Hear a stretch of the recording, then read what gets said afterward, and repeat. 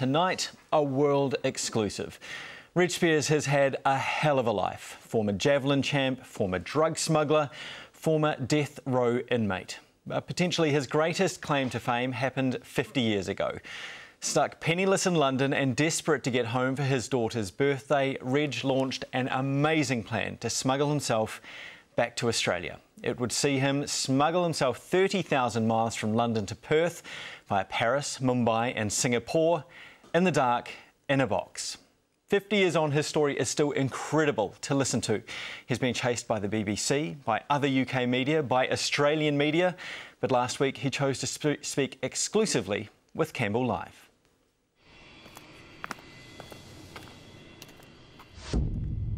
In a life rich with stories, there's one Reg Spiers will be remembered for above all others.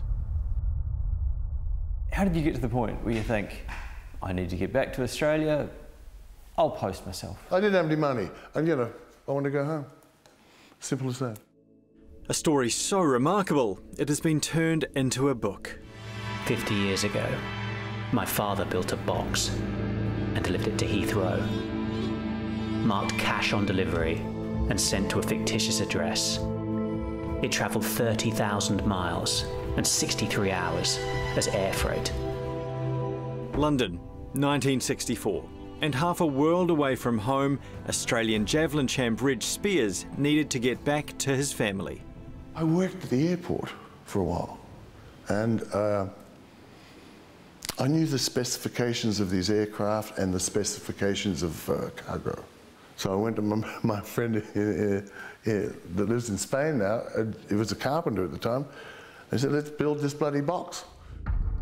Three by five by two and a half feet. This would be Ridge's way home. The content was human. A penniless Australian athlete smuggling himself home.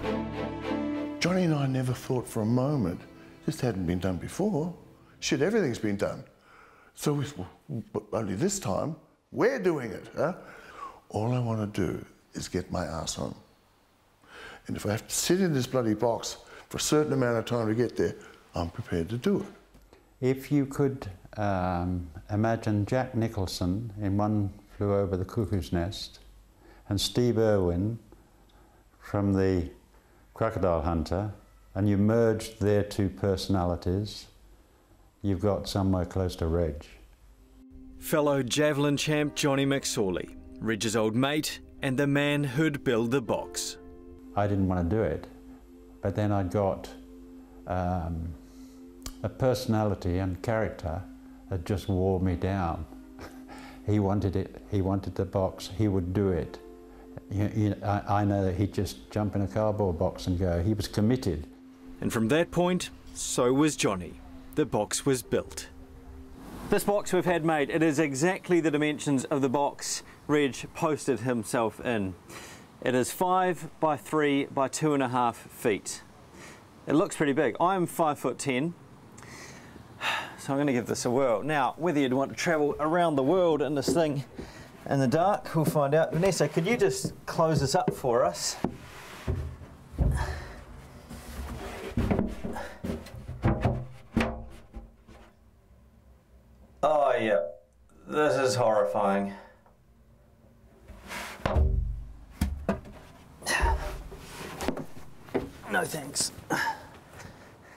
Did you ever worry about your safety, or do you just think, I'm in a box, it's a couple of days, well, Lachlan, you just hit it then, mate. That's it. That's how it happened. I just get in this bloody thing and let's What's go. the worst that can happen? Exactly. What's the worst that could happen, Lachlan? You know, they're going to say, you in the box, get the hell out, we're going to put you in prison for stowaway. Huh? Okay, I'm not dead. And I never thought I would get killed because I, I, had a good look at it before I did it. You know, sometimes I act like a fool and I'm a total fool. We knew we, we were doing wrong. He'd gone as rubberized emulsion, which is fictitious, for a shoe company, which, is, which was fictitious, and collected by Mr. Graham, who was fictitious. So, Reg, we've only gone and knocked up a crate for you. Get out of here. Is it, is it a good feeling seeing it again? Well, it certainly brings back a few memories, let me tell you. Huh? Reg knew he'd have to deal with the dark, but he also had to prepare for a very long haul. I had uh, belts inside, belts on either side and over here to hold me in place if necessary, and another belt holding a bag up there so because it'll counterbalance the weight a bit. So you, you, had your basic crate and then a few things to, to keep you comfortable, yeah, keep you locked yeah. in. My blanket, pillow. Yeah, I was. I was it wasn't as bad as people think. Yeah. Uh, if, if you don't mind being in pitch black, if that doesn't bother you, and you know you're going to get there, well, sit in the pitch black. Just a few hours in, the call of nature almost put an end to his adventure. I had a catering-sized can of Heinz baked beans that I love. Uh, so I peed into this can, immediately let it go, and finished. I put it on top of the box without thinking. I just put it there, and um, stretching my walking down, stretching my legs, bloody thinking so far so good, and then I felt the, the inclination of the plane as it's going down. So I immediately, because London, Paris, not far, got to get back in the box. Back in the box, lock the latches across, sit there, wait. The piss. The piss. What to do? Sit there and wait and see what happens. The plane landed, the hold opened, these French guys came on board and they got angry. They were pissed off. and they were carrying on, but I'm waiting for them to knock on the box. Nothing happened. The hole closed, plane took off. And off I go again. Just like that. They thought the English had done it. They thought the English had this can of Aussie piss and they blame the English. Yes. How do you like that for a New Zealander, huh? His journey was supposed to be less than 48 hours, but unexpected delays and unscheduled stops meant it ended up taking 63. Next thing, bang, the bloody thing lands, and it's in Mumbai, and it's hot as hell. And they, uh, they take me off this plane and put me on the tarmac. I mean, the box is half end up. Uh, and I'm upside down because with straps in this bloody box, and I'm hanging upside down a bit onto my shoulders. But it's so I'm in the nude. I've taken all my bloody clothes off and I'm perspiring. How long had you been waiting in the nude in a box in the Bombay heat? Oh, wasn't long, about an hour. And then there was a long hop. And I figured the next stop's got to be somewhere in Oz. Bang, Perth put on a suit, got a bag, walked over to the road and hitchhiked into town. I was there. Simple as that. Well, you know what? We've, we've come to Australia. We're stuck with a box now, so. no, I don't want the bloody thing. one's enough in my life. in the dark, in a box, what goes through your head? Well, you know, what would you do, Locke? You'd be sitting there, you'd be thinking about yourself and all the things you've done up to that point. So I just sat there in the dark and did that. It was very simple. I think you have to be a very special person, and I think Reg was that very special person. Um, he had, he seems to have a tolerance, a tolerance for you know um, pretty much anything, and still come up smiling. Just a boy. Yes, talking to Reg, it's easy to get caught up in his stories and sheer force of personality. Look at this, this was 1968.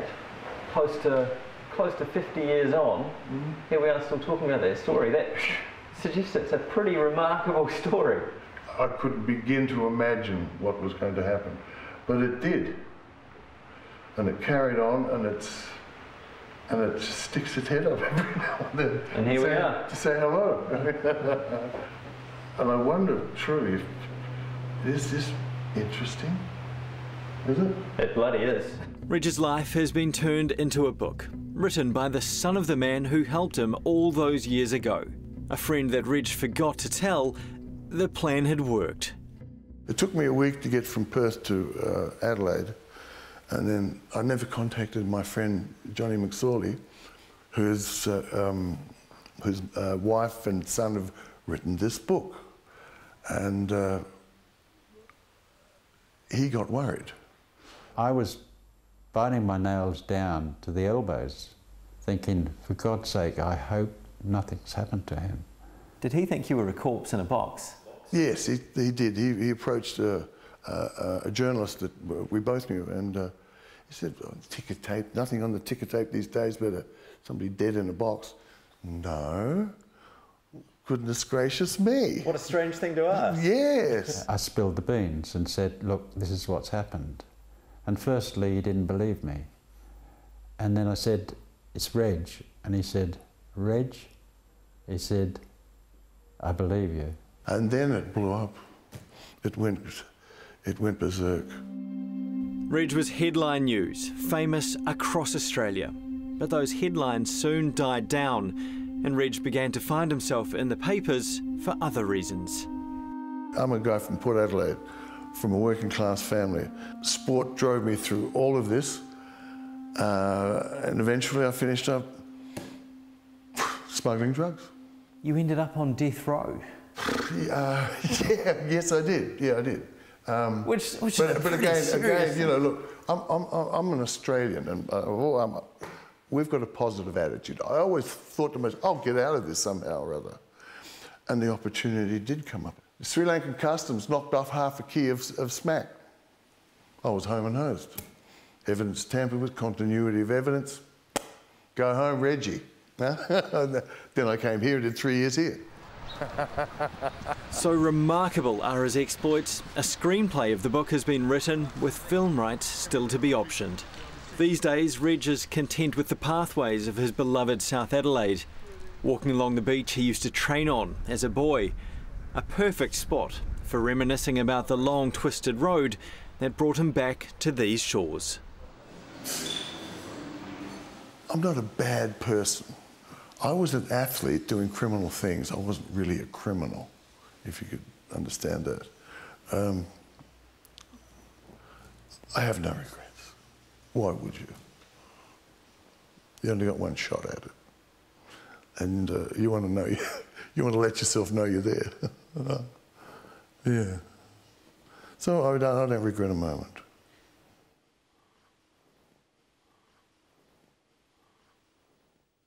Now, in almost 10 years of journalism, Reg Spiers has to be the best storyteller I have ever met. Although, to be fair, many of them probably aren't suited to 7pm in the evening. Now, that exclusive story was courtesy of some really excellent work by our producer, Vanessa Forrest.